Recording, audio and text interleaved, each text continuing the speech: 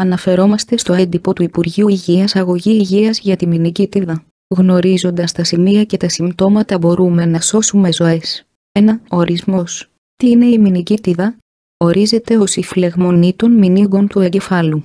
2. Αιτιολογία. Μπορεί να προκληθεί από διάφορους αιτιολογικούς παράγοντες συνήθως. Α. Βακτήρια ή Β. Ιούς. Α. Ο μηνυγκητιδόκοκος, ο πνευμονιόκοκος και ο αιμόφυλος influenza τύπου B προκαλούν πάνω από το 75% όλων των κρουσμάτων βακτηριακής μηνυγκίτιδας είναι υπεύθυνοι για το 90% της βακτηριακής μηνυγκίτιδας στα παιδιά. Β.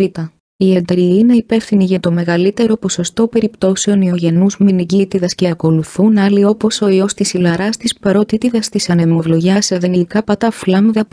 Παθογένεση. Τρόπος μετάδοσης της μηνυγκίτιδας. Ο τρόπος μετάδοσης της μηνικίτιδας ποικίλει με βάση τον αιτιολογικό παράγοντα. Α.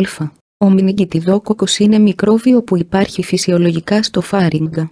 Ο άνθρωπος αποτελεί τη μόνη πηγή μετάδοσης της νόσου. Ο μηνικίτιδοκοκος μπορεί να μεταδοθεί με το φτάρνισμα το βήχα ή το φίλημα κατά την άμεση και παρατεταμένη επαφή. Ο μηνικιτιδόκοκος είναι ιδιαίτερα ευαίσθητος και δεν επιβιώνει στο περιβάλλον. Μηνυγκίτιδα μπορεί να εκδηλωθεί σε νεογνώ κατά τη γέννηση από μολυσμένη μητέρα με β, αιμολυτικό στρεπτόκοκο. Β. Ο εντεροϊός συχνότερο αίτιο ιογενούς μηνυγκίτιδας μεταδίδεται μέσω κοπράνο στοματικής οδού όπως για παράδειγμα με την κατανάλωση φαγητών που παρασκευάζονται από μολυσμένα άτομα που δεν πλένουν τα χέρια τους μετά τη χρήση της τουαλέτας. Κλινική εικόνα. Βακτηριακή μηνυγκίτιδα το ποσοστό των ασυμπτωματικών φορέων ανέρχεται κατά προσέγγιση στο 10% του πληθυσμού.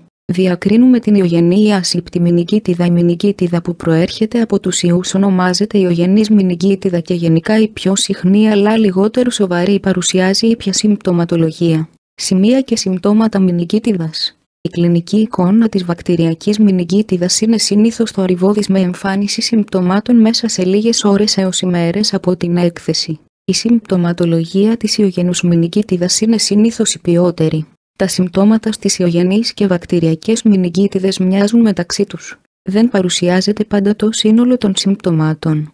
Τα συμπτώματα αυτά είναι πυρετός, κεφαλαλγία, άρνηση λήψης τροφής, εμετός, φωτοφοβία, έντονο ευερεθιστότητα, σύγχυση, υπνηλία, οχρότητα, προπέτεια πηγή, εμφανές αιμορραγικό εξανθήμα, επιληπτικές κρίσεις, αυγενική δισκαμψία, δυσκολία αφύπνισης και κόμμα, διάγνωση. Η διάγνωση γίνεται μόνο με εργαστηριακό έλεγχο, θεραπεία. Η βακτηριακή μηνυγίτιδα είναι λιγότερο συχνή από την ιογενή αλλά περισσότερο σοβαρή και χρειάζεται άμεση ιατρική αντιμετώπιση. Η θεραπευτική αντιμετώπιση της μηνυγίτιδας γίνεται με βάση τον αιτιολογικό παράγοντα. Σε περίπτωση βακτηριακής μηνυγκίτιδας όσο το δυνατόν γρηγορότερη θεραπεία με το κατάλληλο αντιβιωτικό που θα χορηγήσει ο γιατρός σας βοηθάει πολύ στην αντιμετώπιση της νόσου. Σε 24 ώρες μετά τη χορήγηση του αντιβιωτικού ο ασθενής πάβει να μεταδίδει τη νόσο. Σε περίπτωση εμφάνισης κρούσματος καρουσμάτων,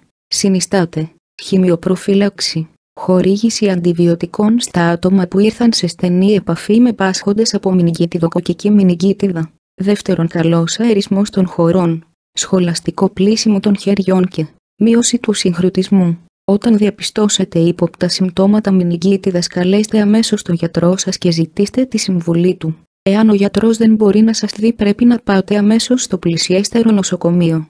Πρόληψη μηνυγκίτιδας σε κάθε περίπτωση η αυστηρή τήρηση των μέτρων ατομικής υγιεινής όπως προσεκτικό πλήσιμο χεριών συμβάλλει στην πρόληψη της νόσου.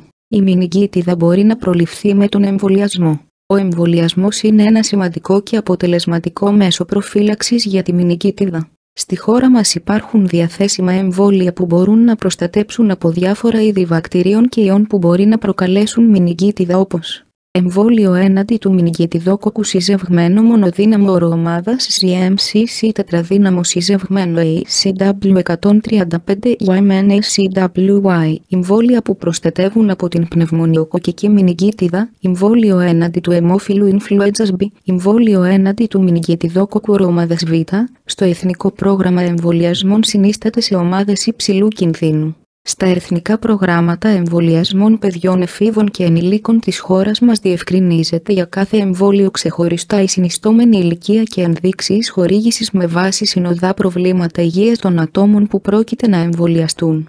Τα εμβόλια που περιλαμβάνονται στα εθνικά προγράμματα εμβολιασμών διατίθεται δωρεάν.